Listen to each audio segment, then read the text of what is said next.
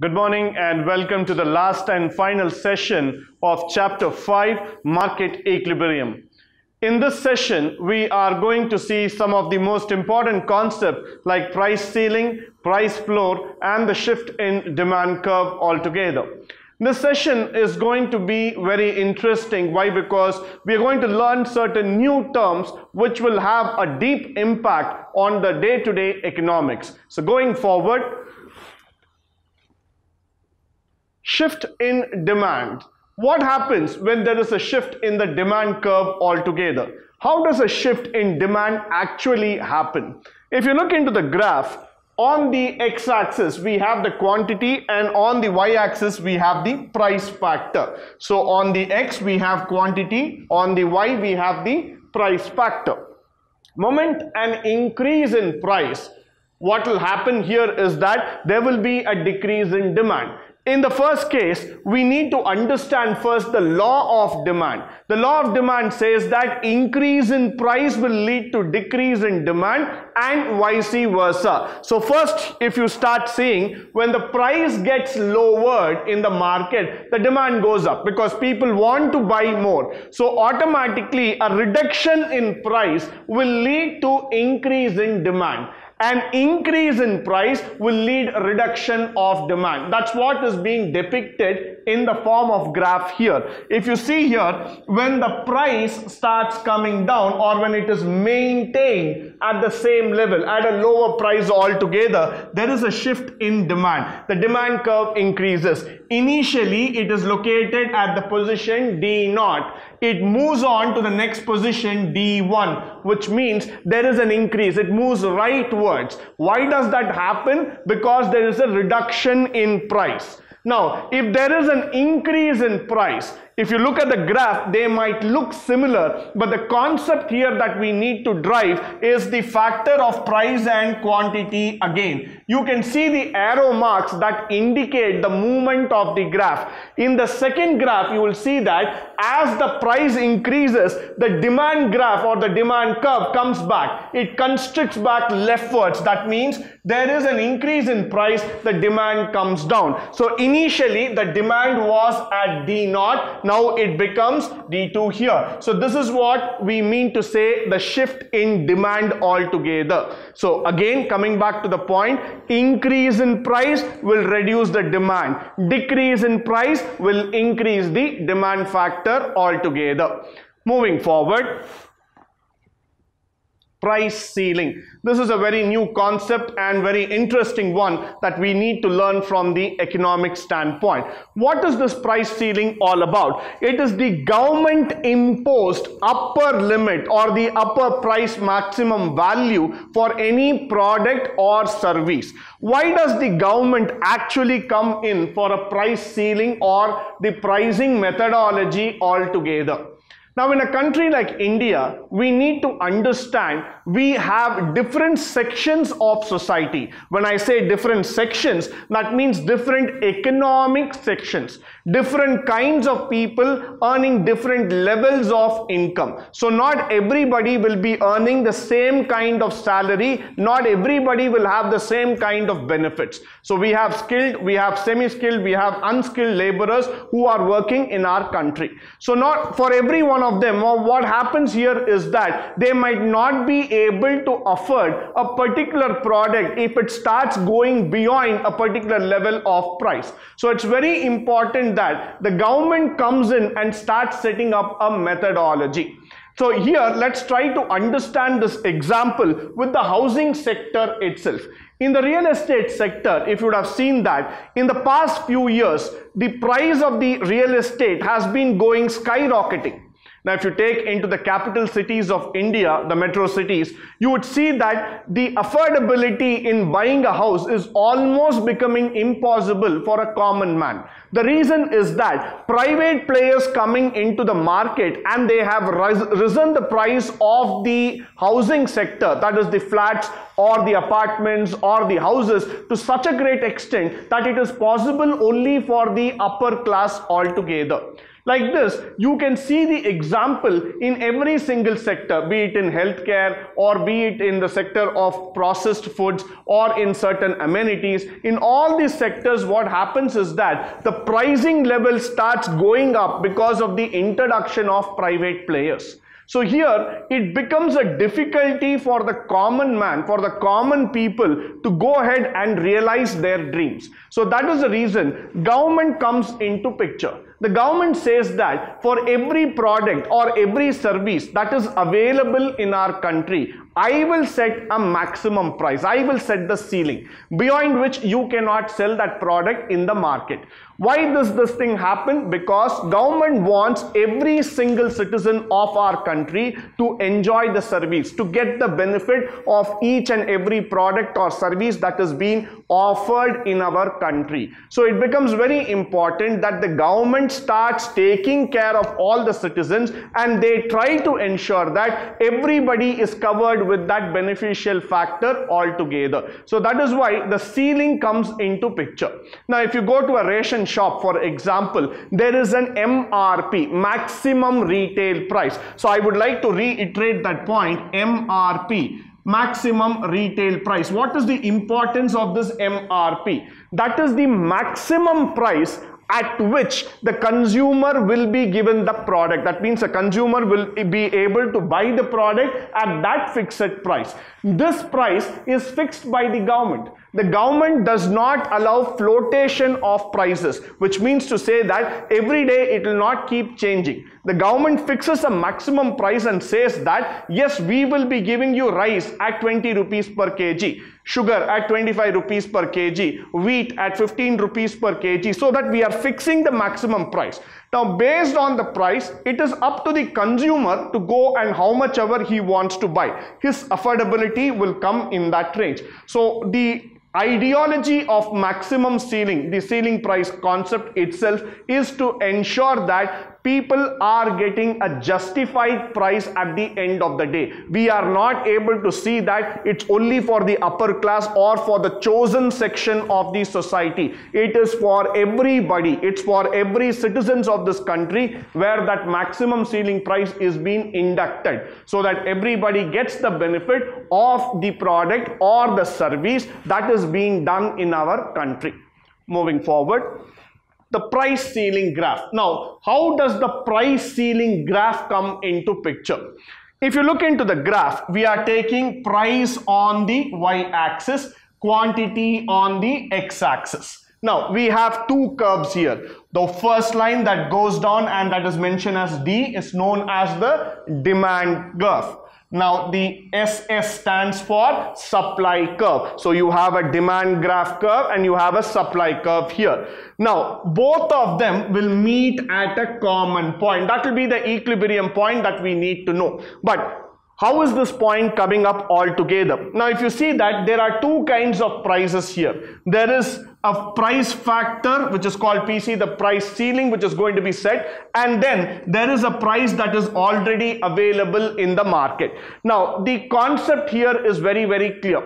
Now if the existing price is way above high than the government decided, the government would try to come down and fix a ceiling altogether. The government would see that let's try to match the supply and demand so that we come to the equilibrium and this would be the point so for this much amount of quantity, this will be the price that will be available in the market. Why? Because in our country you will see that there are many times when the price is exorbitantly highly quoted. So in that situation, in that scenario, the government tries to match the supply and demand, make the market come back to the equilibrium position. Then the government will be able to understand what is the price ceiling that we need to keep. Now, if the government fixed the price here at this level altogether, the government knows that beyond a particular point they cannot extend the price. So the government comes in and says to the market, to the common man that the price that is fixed for a particular product is X rupees.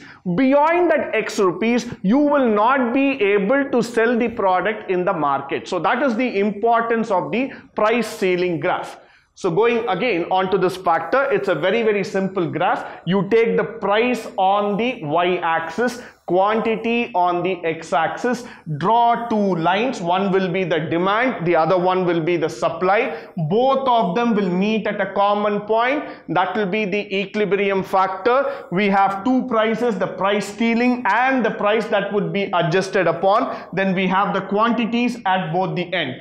The place at which the supply and demand curve meet is called our equilibrium point and that is the point where the market will be adjusted for the maximum price factor altogether. So that is what we call as the price ceiling. Moving forward, price floor. Now the opposite of ceiling is floor.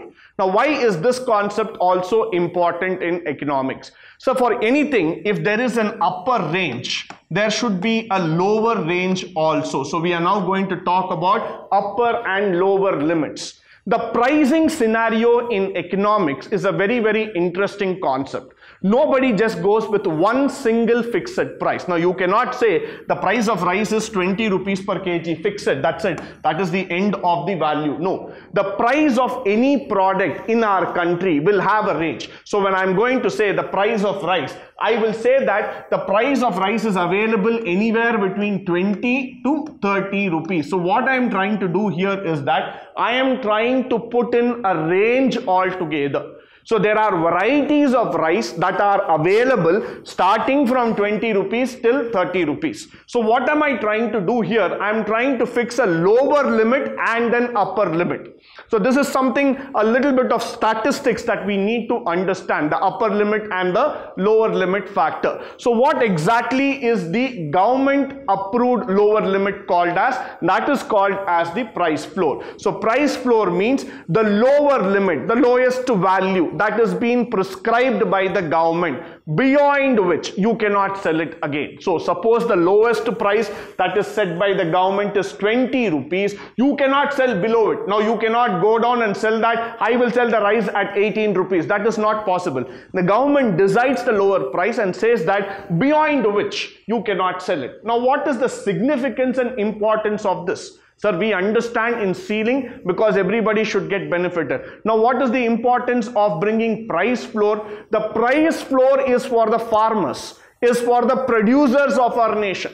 Because if you see in our country from an economic standpoint, it is the farmers who always stand back. They don't get any benefits at all. So for the farmers or the manufacturers, there should be a minimum selling price that has to be fixed by the government so that the farmers don't end up in loss. So it is very, very important for all of us to understand this factor when a price floor is being set that price floor is set for those farmers and for the manufacturers who struggle for our nation, who struggle to produce the goods, who struggle to produce those rice, wheat for us, and they should also get some benefit. So the government keeps them in the mind and they said that beyond this price, don't go low so that the farmers don't get into the loss procedure altogether. So that is why it is very, very important that we set a price floor altogether. Beyond this price, you will not be able to sell so that the farmer do not go in loss. So price floor is equally important like price ceiling.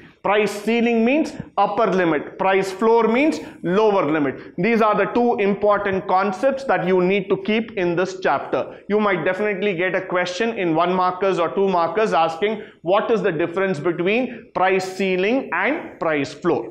Now going forward, the price floor gap. This is the price floor graph altogether that is very, very important for us. Now, again, in this, we are going to take the price factor on the y-axis and the quantity on the x-axis, the same kind of graph. So, on the y-axis, you have the price, on the x-axis, you have the quantity. Now, what is that we are going to do? We are going to see two factors here. Now for the manufacturer standpoint, the producers or the farmers, they would have produced a particular good at a particular cost. Now let's say the production cost of rice is 15 rupees per kg. Now, for the farmer to get benefited, at least there should be 2 or 3 rupees beneficial factor. So, the farmer should at least get 18 rupees per kg in order to get some profit. So now the government will try to seek a price here. The government will try to say that we will fix a particular price and then we will exceed it to a floor so that whenever you start seeing here the lower price, that point where it matches all together. So you see the supply curve and the demand curve meeting at a common point. This is that common point and that will be fixed as the lower limit altogether. Why that is fixed as the lower limit altogether? Because that is the price at which minimum profit will go to the farmer. So at any given point of time, when the government is fixing the floor price, they keep in mind this factor very, very clearly, very, very thoughtfully, saying that the farmer should not get into any kind of loss. So there will be a minimum profit that the government would have decided for the farmer. So at least he should get 2 or 3 rupees benefit for the amount of produce that he brings it to the market. Going forward, the conclusion for this chapter. What did we learn out of this chapter? The first thing that we learned about understanding of perfect competitive market. Now this was a equilibrium status. So this is a perfect competitive market where we have the equal number of buyers and sellers coming in and this is a market where we need to understand that there are n number of buyers there are n number of sellers so the market is pretty much fixed you don't have to worry at all for every product there is a seller and for every product there is a buyer the next one, equilibrium price and quantity is determined at the point of intersection. If you have carefully seen through the graphs in the session, you would see that the supply curve and the demand curve will meet at a particular junction. So this is where we were talking about. So this point is what we are talking about here. The intersection is the equilibrium price. So this is very, very important for all of us. The intersection of demand and supply is known as the equilibrium price. Next one, supply shift and demand shift is being explained. Yes, in the previous session, we saw that how did the supply shift and the demand shift had an implication altogether. So when the supply increases rightwards, the demand increases rightwards, the reverse function also supply moving to right, demand coming to left and vice versa. Why does this happen? Because of the movement of price altogether. So that is also a very, very important concept that we learned in this chapter. Next, we also spoke about free entry and free exit of the companies. This is highly important. Why? Because we have already discussed in the previous session. This is one kind of market where you can enter the market at your will and wish and exit the market at your will and wish. So perfect market is exactly perfect enough for any entrepreneur to just walk in and walk out. He doesn't have to think about the formalities, the legalities, how it is going to happen, when it is going to happen. He's not worried about it. He just wants to make an entry. Yes, the market is ready to welcome him. He wants to make an exit. The market is happy to say goodbye to him. So the free entry and free exit of the companies is highly regarded in a perfect market competitive session. Next, we are going to talk about the concept of price ceiling and price floor, which we saw this.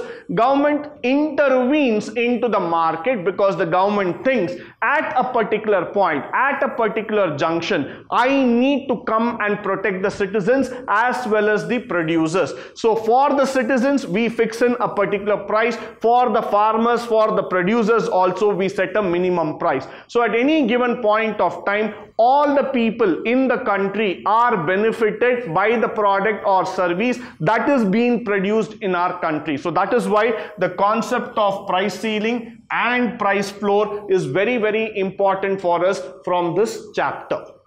I hope and believe that this chapter was very interesting and something that has made you educative enough in the line of economics. Thank you for joining me today on this wonderful session. And this session is supposed to be one of the most important chapters in terms of your syllabus in second PUC economics. Until then, I would wish and I would say a thank you and goodbye to all of you. Stay tuned, stay blessed, and stay educative forever. Thank you once again.